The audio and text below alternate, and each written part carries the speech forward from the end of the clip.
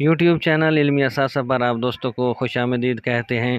حکومت نے بے نظیر انکم سپورٹ پروگرام کے حوالے سے سروے مکمل کرنے کی تاریخ دی ہے اور اس کے علاوہ بھی بہت کچھ آج کی اس ویڈیو میں جڑے رہی ہمارے یوٹیوب چینل علمی اثاثہ کے ساتھ۔ بسم اللہ الرحمن الرحیم۔ وصلاۃ وسلام علی رسول کریم السلام علیکم۔ امید کرتے ہیں کہ آپ سب لوگ ٹھیک ٹھاک ہوں گے۔ تو چلتے ہیں خبر کی تفصیل کی جانب۔ خبر کی تفصیل کے مطابق بے نظیر انکم سپورٹ پروگرام اکتیس اگست تک سروے مکمل کرنے کی ہدایت۔ رشوت لینے، کٹوتی کرنے والے ملازمین، ریٹیلرز کی نشاندہی کی جائے گی۔ ایسی خواتین جو بے نظیر انکم سپورٹ پروگرام کی مستحق ہیں، ان کے لیے اکتیس اگست تک اپنا سروے مکمل کروانے کی ہدایت کی گئی ہے۔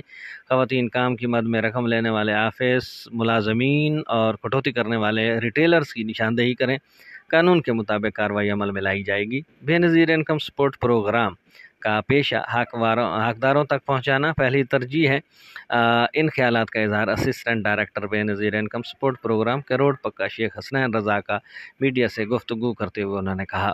اس موقع پر عطا الرحمن غوری، رانا محمد طفیل، آصف حسین قریشی کیسر علی، رانا چیئرمین عالم شاکر شاہد حسین بھٹی بھی موجود تھے۔ انہوں نے کہا کہ جو خواتین بے نظیر انکم سپورٹ پروگرام کے لیے اہل ہیں، رقم وصول کر رہی ہیں اور سروے نہیں کروائے دوسری، وہ خواتین جنہوں نے ابھی تک سروے نہیں کروایا، وہ اکتیس اگست تک اپنا سروے مکمل کروا لیں۔ یہ تھی تازہ ترین اپڈیٹ جو بے نظیر انکم سپورٹ پروگرام سے متعلق تھی، جس میں اکتیس اگست تک سرکاری خواتین کو سروے مکمل کرنے کی ہدایت کی گئی ہے۔ اور ساتھ میں انہیں یہ بھی ہدایت کی گئی ہے کہ ایسے تمام خواتین خواتین وہ ان ملازمین کی نشاندہی کریں جو پیسے کاٹتے ہیں، جو پیسے لیتے ہیں، رشوت لیتے ہیں اور کٹوتی کرتے ہیں، ان کے لیے جو ہے وہ کارروائی کی جائے گی ان کے خلاف۔